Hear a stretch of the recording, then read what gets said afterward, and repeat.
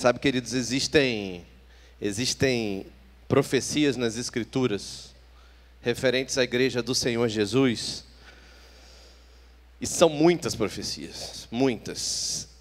Tanto no Antigo Testamento quanto no Novo Testamento. E eu particularmente adoro o livro de Isaías. Eu gosto muito de ler o livro de Isaías, particularmente do capítulo 56 em diante, os dez últimos capítulos, porque ali tem muitas palavras proféticas para nós. E nós, como igreja, de vez em quando precisamos nos debruçar sobre essas profecias e refletir sobre o nosso papel como família de fé, como igreja, e pensar se estamos vivendo ou não de acordo com essas palavras que foram deixadas para nós. Muitas vezes essas palavras estão na Bíblia como fonte de esperança para nós. Essas palavras estão na Bíblia como fonte de encorajamento para mim, para você, para eu, para você, para uma geração que de repente se levante, aplique fé, fé ousada, fé perseverante nessas palavras proféticas. E quando isso acontece, grandes coisas podem acontecer. Quando uma geração, um grupo de pessoas olha para as escrituras, para as profecias e dizem: "Ah, isso é para mim. Isso é para mim, eu quero viver isso. Isso é verdade. Eu quero viver o que está na palavra. A palavra é a verdade, a palavra viva de Deus. Tem que se cumprir na minha vida, porque eu também estou vivendo, estou sendo impactado por ela. Então eu quero te convidar a explorar nessa manhã um texto da palavra de Deus que fica no livro de Isaías, no capítulo 60. Se você puder abrir a sua Bíblia ou acessar aí no seu tablet, no seu telefone. Isaías 60. E, e responder uma pergunta: O que pode acontecer? O que pode acontecer se nos apropriarmos dessa palavra que vamos ler? O que pode acontecer se nos apropriarmos desta palavra sobre nós? O que pode ser gerado na história dessa igreja? Se estas palavras entrarem profundamente nos nossos corações, o que pode acontecer com o nosso procedimento como discípulos de Jesus, o que pode mudar na nossa história. Vamos ler então, e eu quero refletir nesses três primeiros versículos de Isaías 60, por um tempo agora, e depois nós vamos ter um tempo de oração, tá bom? Está acordado assim? Isaías 60. Levante-se e refulja, porque chegou a sua luz, e a glória do Senhor raia sobre você. Olhe, a escuridão cobre a terra, densas trevas envolvem os povos, mas sobre você raia o Senhor, e sobre você se vê a sua glória. As nações virão à sua luz, e os reis ao fulgor do seu alvorecer. Quero que você abra sua Bíblia também no Evangelho de João, no capítulo 1. E a gente vai ler rapidamente, e depois a gente volta aqui para Isaías 60. João capítulo 1. Evangelho de João capítulo 1, versículo 6.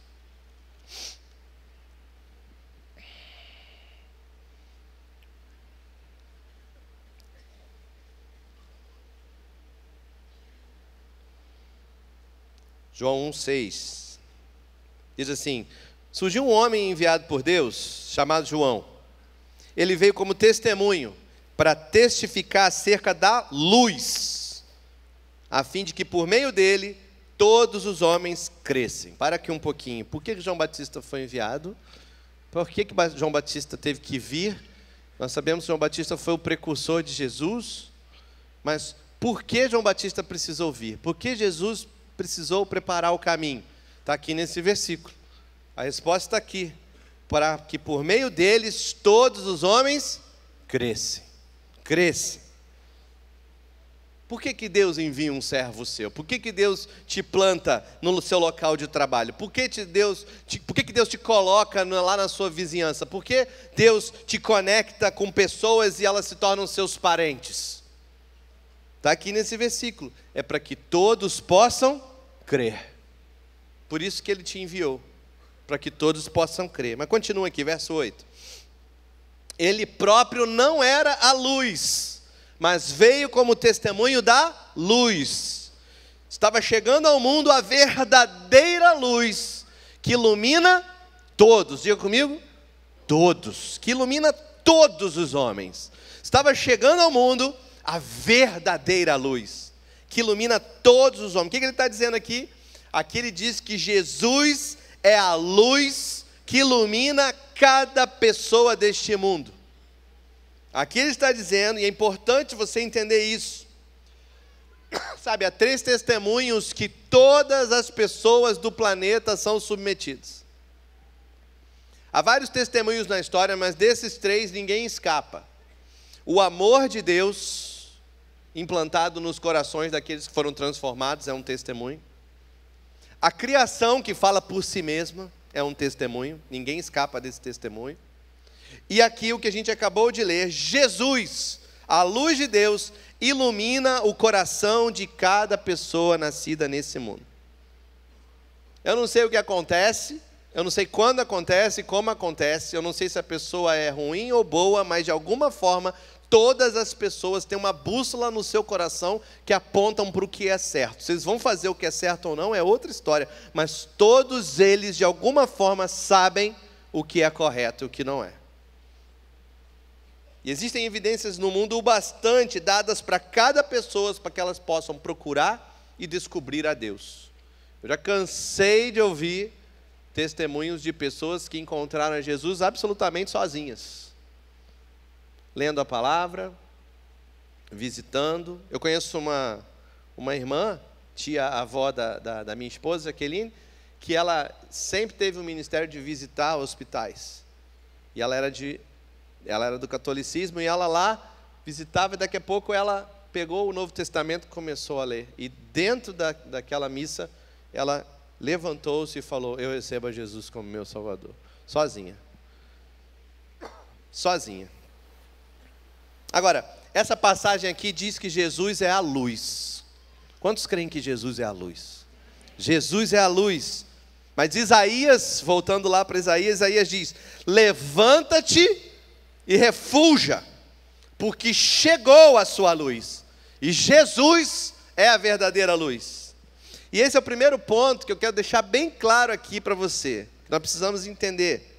Existem muitas pessoas que leem o Antigo Testamento e, e têm dificuldades de decifrar qual partes do Antigo Testamento são para o Antigo Testamento, qual partes do Antigo Testamento são para nós e qual parte do Antigo Testamento estão falando de coisas que ainda estão por vir. E aí nós temos de tudo. Nós temos pessoas que estão vivendo no Antigo Testamento, pessoas que fazem coisas assim esquisitas demais. Você entra numa igreja, você não sabe se você está na igreja ou na sinagoga, porque né, sopra um negócio, acende umas velhinhas, tipo assim, uau, né? Tipo, você, ok, né? Então, ok, tudo bem, deixa eles, né? Tem pessoas que, ao contrário, ignoram por completo o Antigo Testamento, né? Infelizmente, um pastor muito famoso nos Estados Unidos, uns meses atrás, deu essa declaração: ah, você, a gente precisa esquecer o Antigo Testamento. Isso não é verdade. O Antigo Testamento é a palavra de Deus, é a viva palavra de Deus também. E, e aí as pessoas se perdem completamente, porque não conseguem é, é enxergar com clareza as Escrituras. E tem muita gente que lê essa passagem aqui, levanta-te e resplandece, porque chegou a sua luz, e a passagem é tão maravilhosa, a passagem tem promessas tão profundas, que elas falam assim: ah, isso não é para nós, não, isso tem a ver com o milênio. Ah, isso não é para nós, não, isso tem a ver com Israel, em algum lugar lá no futuro, eu não sei direito, porque eu não entendo muito bem de Apocalipse, mas isso não tem a ver com a gente, não, isso tem a ver com um lugar bem longe da gente. Assim, é, é, põe essa profecia bem distante da gente, porque sabe o que acontece, querido? Há na tendência, há, há na igreja uma tendência que as pessoas têm de pegar as grandes promessas nas escrituras e jogá-las para um período de tempo onde nós não temos nenhuma responsabilidade. Não, mas peraí, vai todo mundo resplandecer?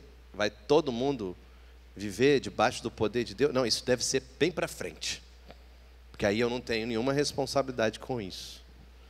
E é muito fácil pegar as ricas promessas de Deus, que são às vezes aos nossos olhos impossíveis de se tornar realidade durante a nossa vida e lançá-las para o futuro. E alguns intérpretes vão dizer que esse texto não é para agora, é para o futuro. Mas entenda isso, queridos, entenda, entenda, e a história nos ensina. O Senhor revela o amanhã para nós, não para que a gente elabore estratégias. O Senhor revela o amanhã para nós, para que com fé ousada nós tragamos esse amanhã para os nossos dias e vivamos as promessas de Deus para nós. O Senhor revela, não é assim que os avivamentos aconteceram? Não é assim que os grandes avivamentos da história aconteceram? Pessoas inspiradas por Deus leram a palavra e falaram: Quer saber? Isso é para nós. Quer saber? Eu vou viver isso agora. E aí o avivamento acontece, e aí o céu se rasga, e aí a presença de Deus manifesta acontece. Veja, querido, e o que nós estamos fazendo? Qual é a nossa história como igreja? O que, que o nosso pastor nos leva a realizar ano após ano? Se não nos encorajar a receber tudo aquilo pelo qual Jesus pagou lá na cruz. Essa igreja é uma igreja que está sempre empurrando um pouquinho mais para frente, falar, vamos ver o que a gente consegue experimentar mais forte, vamos ver o que a gente consegue experimentar mais profundo. A gente não se conforma, a gente não para. Um visitante veio aqui, passou um tempo aqui comigo na administração e falou: Essa igreja não para. Eu falei: Glória a Deus, a igreja não para. Essa igreja é viva, essa igreja é um organismo vivo. E veja, queridos, quando olhamos para profecias como essa, precisamos nos questionar. Isaías disse: Levante-se e brilhe Levante-se e brilhe. Por quê? Porque chegou a sua luz. Porque chegou a sua luz. Porque ele daria um comando de se levantar e brilhar. Bom, provavelmente porque eles não estavam de pé. Eu sei que não é muito profunda essa afirmação, mas assim, por que levantar? Porque não estava de pé. Por que brilhar? Porque estava apagado. Assim, não é aquela frase assim de colocar no Facebook, mas é para você parar para pensar assim: se Deus coloca uma profecia dizendo, ei, levante-se, ei, brilhe, é porque de alguma forma não estamos tão de pé assim, de alguma forma não estamos brilhando tanto assim. Levante-se, por quê? Porque ele já chegou, e essa luz já chegou. E é tão fácil esperar o outro dia, né? É tão fácil deixar para amanhã. Mas eu quero te perguntar nessa manhã: será que existe uma luz melhor chegando? Será que existe uma luz maior chegando? Quantos estão me entendendo? Será que existe algo melhor chegando para nós? Ele disse em Sua palavra: escute bem, eu sou a verdadeira luz do mundo que ilumina todos os homens. Será que é legítimo olhar para nós e dizer assim: não, isso tem a ver com um dia futuro, algum tempo distante, muito longe de mim? Irmãos, isso é totalmente ilegítimo. Não faz nenhum sentido. Porque Jesus é essa luz e ele já te alcançou, ele já te transformou. O ungido de Deus, o amado das nossas almas, é essa luz, o centro do nosso culto. Agora, o que, que ele nos disse para fazer? Ele disse: levante-se e brilhe, levante-se e refulja, levanta-te e resplandece. Numas versões mais antigas. Essa palavra hebraica, brilhe, refulja, resplandece, ela é a palavra or, ela significa ser ou se tornar luz. Levante-se e seja luz. Levante-se e torne-se luz. Levante-se e brilhe. Ele não disse, levante-se e reflita. Você não é um espelho que reflete Deus. Você é lugar da habitação de Deus. Você é templo do Todo-Poderoso. Ele mora dentro de você. Escolheu habitar em você. O problema é que a gente não brilha muito bem sentado. O problema é que sentado a gente não brilha muito legal. O problema é que você fica bem é brilhando de pé. De pé. Porque a postura de pé é uma postura de fé. A postura de pé é uma postura de fé. Veja bem, essas lâmpadas aqui da igreja. Pense comigo. Elas brilham, não é? Não porque tem uma luz que vem delas. As lâmpadas brilham não por causa das suas próprias capacidades. Elas brilham porque elas estão conectadas. As lâmpadas brilham porque elas estão conectadas. A capacidade de brilhar está lá, mas é a conexão que faz acontecer. É a conexão que faz acontecer. Quer ver só, Juninha? Paga aí. Paga tudo, dá um breu aí. O que, que as lâmpadas podem fazer? A conexão foi interrompida. Agora sente, restabelece a conexão e ela brilha. Restabelece a conexão e ela brilha. Quantos estão me entendendo? Se você estiver conectado, você vai brilhar. Se você estiver desconectado, fica escuro. Sabe, querido, você pode ser uma pessoa maravilhosa. Você pode ser uma pessoa cheia de conhecimento. Você pode ter tempo de igreja. Você pode ter sido pastor em outra igreja. Você pode ser pastor aqui nessa igreja. Você foi líder disso, foi líder daquilo. Você é muito inteligente. Você é muito esperto, muito capaz. Você é um médico, um advogado, um juiz, eu não sei. Você entende de tecnologia. Você entende de coisa avançada, moderna. No entanto, querido, sem essa fonte de energia, você não passa de uma lâmpada apagada. Sem a conexão com a fonte de toda a luz, não passamos de lâmpadas apagadas. E deitados ou sentados não é lugar de brilhar, concorda comigo? Deitado e sentado não é lugar de brilhar. Levante-se e brilhe. Por quê? Por quê? O seu levantar é baseado no que ele fez. Ele chegou, a sua luz chegou, é chegada a sua luz. Levante-se. Você precisa estar conectado com a fonte de toda a luz, o nosso Pai eterno, todos os dias da sua vida. É o único jeito de resplandecer, é o único jeito de brilhar, é o único jeito de refugir. Quanto tempo você não usa essa palavra? Refugir. Não tem outra forma. Não tem outra forma senão buscar conexão com o Pai que está nos céus todos os dias da sua vida, porque no instante que você se desconecta, você apaga. No instante que você aperta o interruptor, a lâmpada apaga. A vela apaga, o velador apaga. E o apóstolo Paulo vai dizer assim: não apaguem o espírito. Não apaguem apaguem o espírito.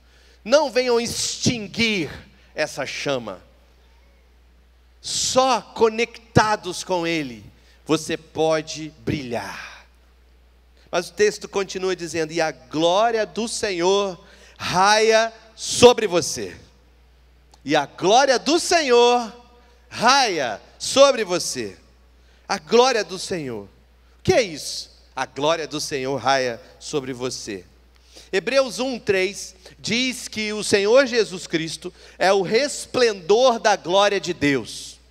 O resplendor da glória de Deus. Tente imaginar assim: existe uma lâmpada e existe uma luz que está vindo. Existe uma fonte e existe uma luz que vem vindo. Jesus é essa luz que vem do Pai sobre você. Jesus é esse brilho que vem do Pai, essa glória que vem do Pai sobre você. Ele é a verdadeira luz que vem do Pai. Na verdade, querido, não existe nada na natureza mais rápido do que a luz. A luz se movimenta a 300 mil quilômetros por hora? Não, por segundo. A luz se movimenta a 300 mil quilômetros por segundo. E Deus é a fonte de toda a luz. Na verdade, a Bíblia diz que Ele é o Pai das luzes, Tiago 1,17. Mas Jesus é o resplendor. Jesus é a luz que se movimenta em sua direção. É a luz que está vindo até você a 300 mil quilômetros por segundo. Não há nada mais rápido do que isso. E quando Jesus vem sobre você, ninguém chega na frente. Se ele vier, ele chega primeiro, porque ele é a luz. Ele é o que chega mais rápido. Jesus é a luz. Ele é a representação exata da natureza do Pai. Ele é a iluminação, a radiação, o resplendor do Pai sobre nós. Então está aqui no verso: levante-se e brilhe. Por quê? Porque a sua luz chegou. A glória raia, a glória vem, a glória vem sobre você. Aquele que ressuscitou está sobre você para demonstrar quem Ele é. Amém? Aquele que ressuscitou está sobre você para demonstrar quem Ele é. E a glória do Senhor raia sobre você. E o texto continua: olhe, a escuridão cobre a terra. Veja o contraste. A escuridão cobre a terra, e densas trevas envolvem os povos. Jesus é a luz, a luz vem sobre você ele diz: levante-se e brilhe. Por quê? Porque a escuridão cobre a terra. Essa palavra no hebraico, escuridão, é a mesma palavra usada lá em Gênesis 1, versículo 4, quando diz que Deus viu que a luz era boa e fez separação entre a luz e a escuridão. Entre o que é bom e o que é ruim. Aquilo que Deus classificou como ruim, separado do que era bom nessa palavra de Isaías, está cobrindo toda a superfície da terra. Jesus, Deus cria o que é bom, separa o que é bom do que é ruim. E a constatação, aqui em Isaías 60, é de que a face da terra está coberta daquilo que é ruim, da escuridão. Densas trevas aqui é como se fosse uma nuvem pesada, sabe? figurativamente, essa palavra no hebraico fala de miséria. Essa palavra é arafel, densas trevas, vem de outra palavra que é araf, que significa gotejar, cair, escorrer, miséria que escorre e goteja em nuvens densas em volta das pessoas. Estudiosos vão dizer que essa palavra densas trevas é relacionada ao estado de depressão da humanidade. Existe uma humanidade em completa escuridão, envolvida numa nuvem de depressão, gotejando miséria. Talvez não de dinheiro, mas talvez de carinho. Talvez não de dinheiro, mas talvez de atenção. Talvez não de comida, mas talvez de autoestima. Gotejando miséria. Escuridão e densas trevas. Depressão envolvendo. Você tem visto depressão pelo mundo? É só ligar a televisão e desligar rapidinho, porque você liga, vê e desliga.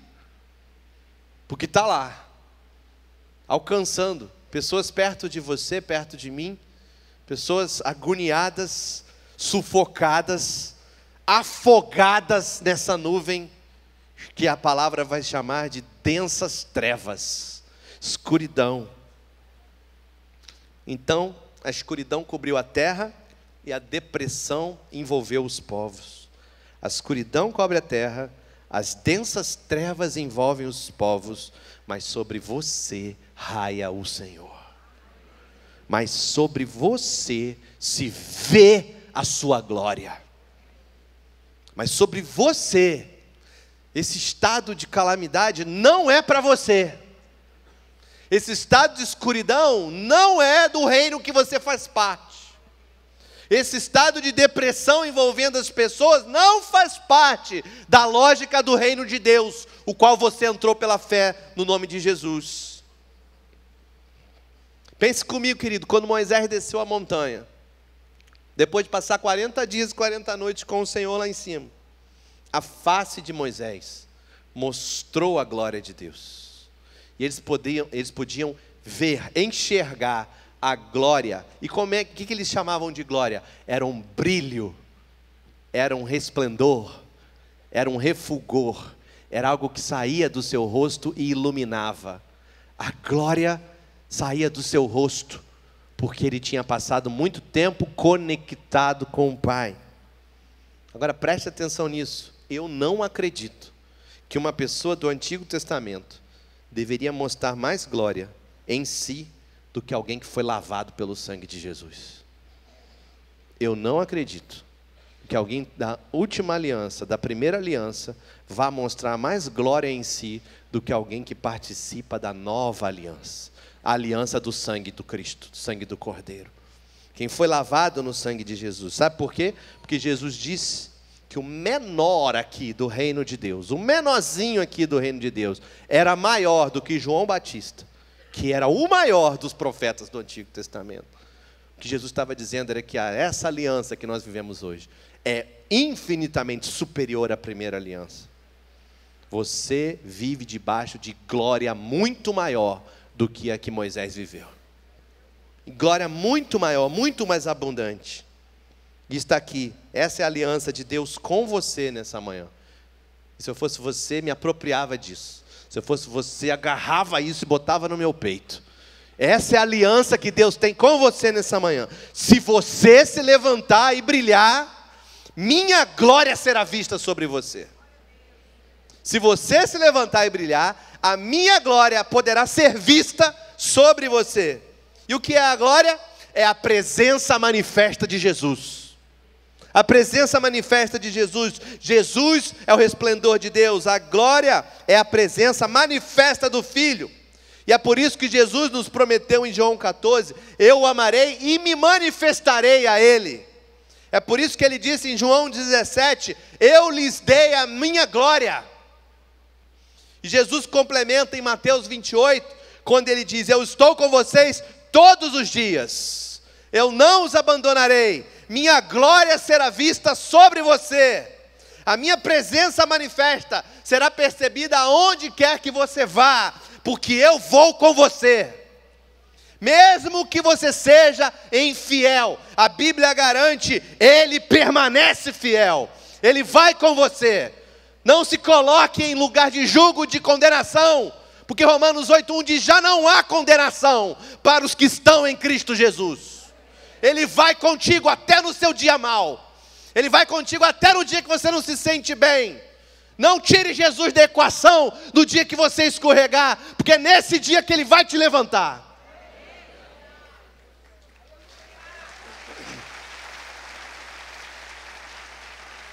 Agora pensa comigo aqui. Essas lâmpadas aqui não estão se esforçando para brilhar. Vocês concordam? Elas, elas não estão lutando. Elas não estão clamando para brilhar. Não é tipo, eu profetizo luz. Não é isso. Não é, não é, não é, eu declaro que luz sairá de mim. Não é isso. Isso, isso, isso é outra coisa, isso é esoterismo. E a gente não é esotérico, amém? Bem que tem uns cristãos aí que até parece, né? Mas a gente não é, tá? Isso não é. Ela, ela não fica assim, serei fonte de luz, em nome de Jesus, não. Não acontece dessa forma. Elas estão conectadas com a fonte de luz e simplesmente estão brilhando. Conecta, brilha. Conecta, brilha. Não conecta, não brilha. E existe algo sobre permanecer em Cristo. Existe algo sobre se conectar com Ele que provoca a ação da luz resplandecer sobre você. Simplesmente acontece. Sabe por que acontece? Porque fiel é aquele que prometeu. Acontece. Você não precisa fazer força, você não precisa fazer jejum, você não precisa fazer voto, você não precisa entrar em, em, em jejum de Daniel, é, ajoelhar no milho, nada disso. Você não precisa fazer nada disso. Você precisa se conectar com Ele e você vai brilhar. Você vai se conectar com o Pai e a palavra viva de Deus te garante que a glória será vista sobre você. Você não tem que fazer força, não é algo que você avalia antes de acontecer. Hum, deixa eu ver se eu vou brilhar hoje ou não. Não. Se você se conectar, você vai brilhar. E você só sabe que vai acontecer. E vai acontecer mais e mais. Isso é uma bola de neve. Mais e mais. Você vai perceber. Você vai entrar nos lugares e as pessoas vão começar a ver Jesus. Eles verão o Senhor. Eles verão a glória. eles sentirão a presença. Já aconteceu algumas vezes, mas vai acontecer mais e mais. Por quê? Porque ele prometeu que aconteceria. Simplesmente. E sobre você se vê a glória de Deus. Não é, não é para você ficar se sentindo espiritual. Ou sei lá o quê. Porque é nessas horas que a gente bagunça o trem todo. Não é para você ficar se sentindo super espiritual. É somente uma evidência natural de que você está conectado, de estar tá ligado na fonte de poder e unção, a fim de que a verdadeira luz possa brilhar através de você. Isso é o que ele diz: ele diz, sobre você se vê a minha glória. E querido, você pode inventar a desculpa que você quiser. Você pode sair com o argumento que você quiser. Você pode reclamar da visão, você pode reclamar dos discipulados, você pode reclamar que tem evento demais, você pode dizer que está cansado, você pode não querer batizar mais ninguém esse ano, quem não tem, você pode dizer que não tem tempo para fazer casa de paz, você pode enganar muitos, e até a si mesmo. Mas a verdade é que todo aquele que está conectado carrega a luz de Jesus em si, carrega a glória de Deus sobre si, e todos podem ver a promessa da presença manifesta de Jesus em si. Diga isso comigo, repita aí. A glória dele, a presença manifesta de Jesus será vista sobre mim. A glória de Deus, a presença manifesta de Jesus será vista sobre mim. Feche seus olhos, feche seus olhos aí no seu lugar. Tira toda a distração agora. Feche seus olhos, porque nós vamos dizer isso novamente. Eu quero que você profetize isso sobre a sua vida.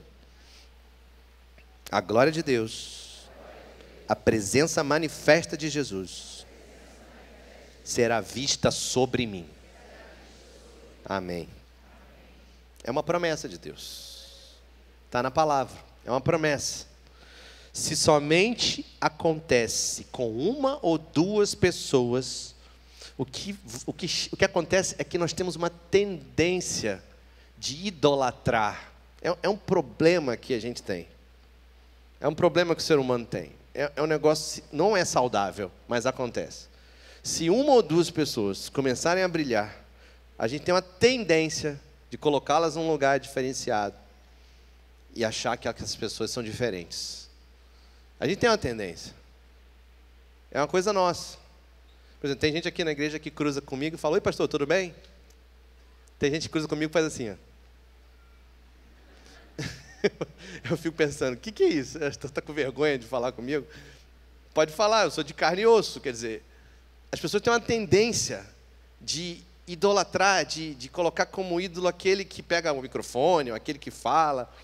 Mas não seria maravilhoso, delicioso, se todos brilhassem e ninguém pudesse ver a diferença. Todos em comunhão perfeita, brilhando, manifestando a presença de Jesus em si, aproveitando a vida em abundância, essa vida que Jesus prometeu, porque quando um ou dois fazem isso, não é legal, não é saudável, não é bacana. Seria melhor se acontecesse com todo mundo, e a minha oração é que aconteça com todo mundo é que aconteça com todos vocês. Que todos tenham um prazer de encontrar o seu propósito, de se conectar e brilhar. Que todos tenham um prazer, uma fome, uma sede de se conectar com o seu Criador, com o Todo-Poderoso, com o seu Pai eterno. E de não perder essa conexão nunca mais. Todo mundo aproveitando a vida, deixando Jesus repousar sobre nós em comunhão, aproveitando em alegria, aprendendo a ser habitação de Deus. E sabe o que acontece? Quando isso acontece? Sabe o que acontece quando isso ocorre? Sabe o que acontece? Está no verso 3. E o verso 3 já é um pouquinho mais difícil de engolir, porque aí começa a aparecer as consequências da promessa incrível do Senhor. Mas veja o verso 3. O verso 3 diz que as nações virão à sua luz. Aí já pegou pesado, né? As nações virão à sua luz. Veja esse verso. Veja, o Antigo Testamento, ele frequentemente usa Israel não como é, apenas para definir a nação de Israel, é, mas às vezes o Antigo Testamento ele faz promessas a Israel e essas promessas são para o novo Israel, os nascidos de novo, os remidos e salvos pelo sangue de Jesus, a família da nova aliança, certo? Família da nova aliança. Você é o Israel de Deus. O apóstolo Paulo deixou isso muito claro para nós. Você é o Israel de Deus. Não substitui a nação que está lá hoje, que Deus tem feito e fará maravilhas ainda com aquela nação, mas você está enxertado nessa árvore, você é Israel de Deus. Então, entenda, nessa terminologia bíblica, Israel representam os crentes, e as nações, ou os gentios, em outras versões vai dizer os gentios, representam os não crentes. Os crentes e os não crentes. Então a terminologia aqui é, aqui é o seguinte: os gentios, as nações, virão à sua luz. E o que isso significa? Significa que Jesus vem sobre você e os não crentes vão até você e perguntam: o que, que é isso aí em cima de você? Significa que os não crentes vão até você e perguntam: Ei, o que está acontecendo com você? O que, que tem de diferente em você? É isso que a palavra diz. Os gentios virão a sua luz. Os não crentes virão à luz que está em você. Porque, vamos, vamos pensar aqui comigo? Você está num lugar completamente escuro. Completamente escuro. Você já ficou num lugar assim? Completamente escuro. Que você não vê um palmo na frente do seu, do seu nariz? Andando na rua, eu já fiquei. É horrível. Ainda perdi meu chinelo, ainda tive que voltar para achar. Então, é horrível. Imagine que você está andando num lugar completamente escuro e de repente você avista uma luz. Para onde você vai? Você você está num lugar completamente inóspito, escuro, e de repente você avista um vilarejo com uma luz. Para onde você vai? Não é à toa que Jesus disse para os seus discípulos no Sermão da Montanha: não se pode esconder uma cidade sobre um monte. Vocês são a luz do mundo. Quando vocês brilharem, vocês vão atrair pessoas para vocês.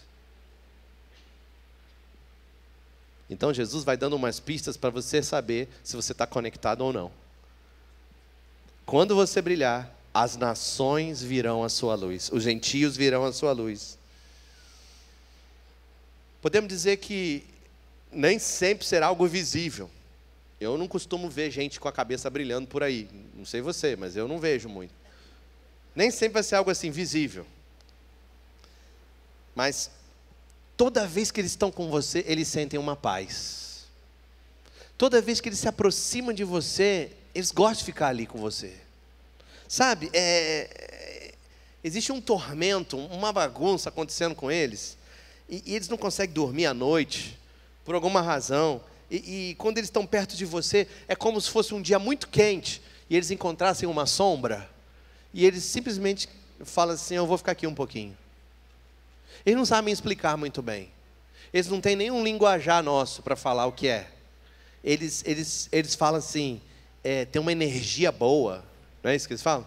Tem uma vibração boa. Você, você é do bem, você é paz e amor. Mas sem, sem saber, eles, eles, eles, eles colam em você e eles ficam ali. E lá no seu trabalho, aquele camarada que, que é o mais assim, esquisitão, você chama para tomar um café, ele fala, vamos. Você chama para almoçar, ele fala, vamos. Você convida para um aniversário, ele fala, eu vou. E você fala assim, ué, mas por que, que esse cara vai? Por que, que essa moça vem atrás de mim? Ela sabe que eu sou crente mas ele vai. Ele vai porque ele precisa de um instante de alívio no dia dele. E é você que tem alívio em você.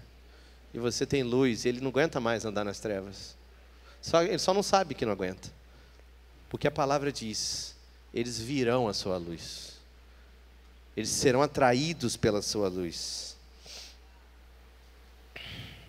Só lembre-se de uma coisa: não é por causa de você. Amém? Não é por causa de você. É por causa dele. E só por causa dele. Porque Ele está sobre você. Não é por causa de você. Se for por causa de você, é aquele que ressuscitou habitando em mim. Aí sim. Não é o truque, não é tipo cinco passos para brilhar melhor, não é nada disso. Como se revelar em mais luz na sua vida, não. Né? Não é autoajuda, não é nada disso, não é coaching, não. É uma conexão. É uma conexão apenas. Porque Ele é a fonte dessa luz. Mas aqui está o um negócio. Ele diz: as nações, os gentios, virão a sua luz. Aqueles que não conhecem o Senhor virão à sua sombra encontrar alívio e descanso de Cristo. Eles vão querer viver a virada que você experimentou. Eles podem até caçoar no início, eles podem até zombar de você, mas eles estão morrendo de inveja, porque eles querem viver o que você viveu. Se você viveu uma virada, ah, agora está toda certinha. É, agora estou. Lá no fundo está pensando, como é que eu faço para fazer isso? Ah, agora parou de beber e de ir com os amigos. Você parei, mas o cara fica pensando assim, eu não consigo, como é que eu faço para fazer isso? E ele começa a se aproximar de você. Eles não sabem falar o que é. E eu quero te dizer hoje, pode esperar mais e mais disso sobre a sua vida. Porque quanto mais você ficar conectado, Quanto mais de pé, na postura de fé, na confiança em quem Deus é, essa conexão com a verdade, com a fonte da unção, com a fonte de vida, com a fonte de poder, coisas começam a acontecer ao seu redor, que atrai pessoas, até Ele, em nós. Sabedoria é quando nós continuamos apontando para Ele, ao invés de acharmos de que algo em nós, além dele, os atraiu, certo? As nações virão a sua luz, mas não é só isso. O versículo não acabou. As nações virão a sua luz, e os reis, e os reis virão ao fulgor do seu alvorecer. Isso é significativo. Reis virão à luz do seu amanhecer. Ouça atentamente. Por que, que os reis viriam? Por que, que Deus escreveria isso aqui através de Isaías? Por que, que os reis viriam? Por que, que um rei viria até você? Por que, que um rei seria atraído até você? Você lembra do rei do Egito, Faraó? O camarada mais poderoso do mundo. Ficou ali, preocupado, ninguém conseguia interpretar o sonho dele. Então você vê o camarada mais poderoso do mundo disposto a ouvir conselhos de um prisioneiro, disposto a ouvir conselhos de um prisioneiro. Você ficaria espantado com que reis, príncipes, líderes, chefes de nações estariam dispostos a fazer para ter acesso à sabedoria de Jesus que você tem aí no seu coração. Tem alguma coisa que acontece lá no escritório, lá na sala da liderança, em que eles sabem que tem uma responsabilidade de encontrar a verdade e distinguir a verdade da mentira. As escrituras dizem que Jesus é o desejado das nações. Ageu 2,7.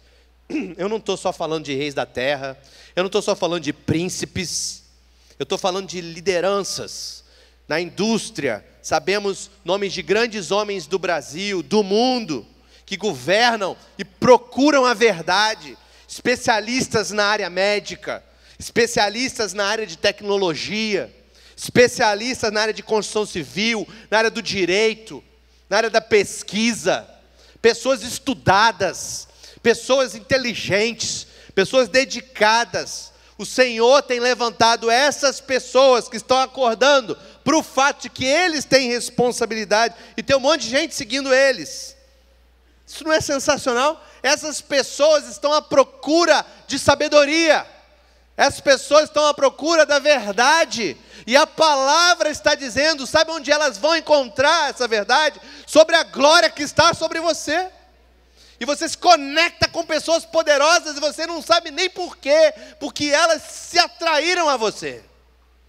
E elas começam a querer ouvir você falar. pessoas percebam que existe uma fonte de verdade e sabedoria em nós, existe uma luz, e eles estão se achando responsáveis por outras pessoas e buscando cada vez mais, cada vez mais o conselho daqueles que têm a glória do Senhor raiando sobre si. E a palavra diz: reis virão a sua luz. Reis virão a sua luz. Você entra todo humildezinho no consultório vai conversar com um especialista, blam, blam, blam, PhD, não sei o quê, Harvard, Cambridge, e ele começa a consulta, e lá pelas tantas você percebe que ao invés dele estar tá consultando você, é você que está dando conselho para ele. Lá pelas tantas você está conversando com aquele camarada poderoso, e quando ele vê sabedoria nas tuas palavras, ele começa a dar atenção para você. Os reis virão à sua luz. Os reis virão à luz do seu amanhecer. Pessoas que estão em estágio bem mais avançados em níveis sociais, muito mais populares, muito mais famosas, não sei, o que quer que seja, vão olhar para você e vão querer encontrar sombra debaixo da sua árvore. Sabe por quê? Porque a sua luz já está brilhando. Eu vou ler mais uma passagem para você, então a gente vai orar. Malaquias, capítulo 4. Você separou aí, Juninho? Malaquias 4.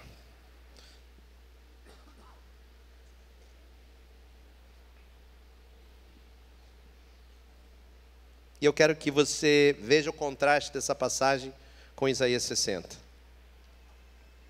Diz assim: Pois certamente vem o dia, ardente como uma fornalha, todos os arrogantes, todos os malfeitores serão como palha, e aquele dia que está chegando ateará fogo neles, diz o Senhor dos Exércitos nem raiz nem galho algum sobrará.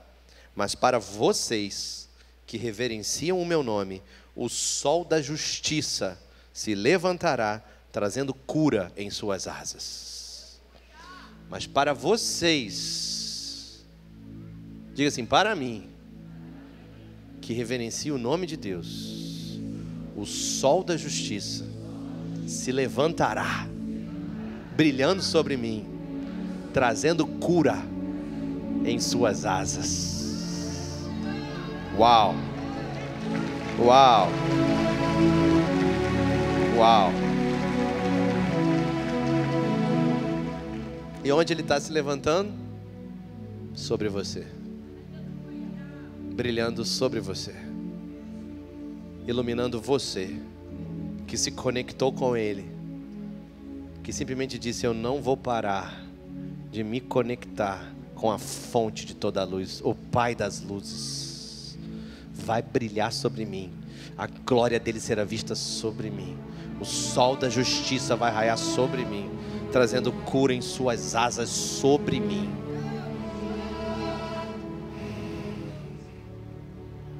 Ele vem, ele vem trazendo solução para os seus problemas, problemas da alma, problemas do corpo, ele vem trazendo vida. Ele vem trazendo vida em abundância. Ele vem como o sol da justiça, trazendo cura em suas asas, presença manifesta de Jesus, a glória de Deus sobre você. O sol da justiça vem e traz cura sobre você. Mas veja o verso 3: Depois esmagarão os ímpios, que serão como pó sobre a sola dos seus pés, no dia em que eu agir, diz o Senhor dos Exércitos. Querido, nunca pense que ele está falando de gente aqui, de pessoas. Jesus deixou bem claro que aqui não são pessoas, mas são as forças malignas do inferno que serão destruídas no dia que o Senhor dos Exércitos agir. Nós pisaremos sim, mas a autoridade que Jesus nos deu é para pisar serpentes e escorpiões e sobre todo o poder do inimigo. Aí sim. E se juntarmos as duas profecias, veja que maravilhoso que fica.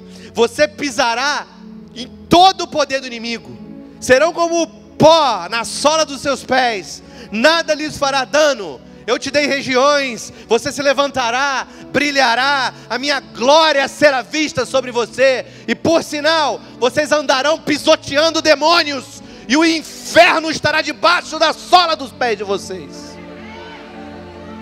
E em breve o Deus da paz esmagará Satanás debaixo dos nossos pés e a glória brilhará sobre as nossas cabeças. Aonde você está, querido? Você está debaixo da glória de Deus e sobre o inferno. Esse é o seu lugar.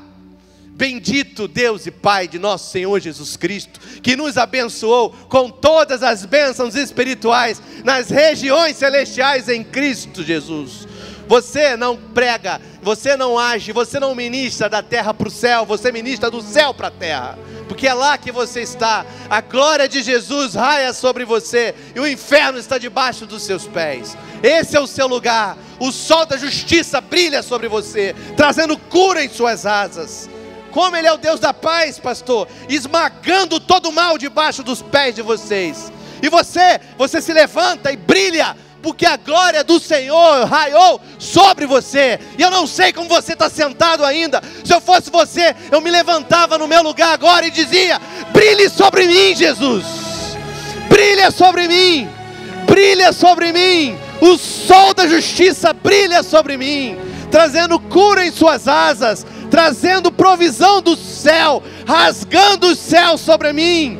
Ele é a verdadeira luz que ilumina todos os homens, e ele chegou. Aleluia! Ele está na casa. Ele está aqui. Glorifique o nome dele. Glorifique o nome do Senhor. Aleluia! Glorifique o nome dele. Deus está nos chamando a brilharmos com a luz de Jesus. A sua lâmpada, como está? Está apagada. Hoje é dia de se conectar com Ele. Como está a sua lâmpada?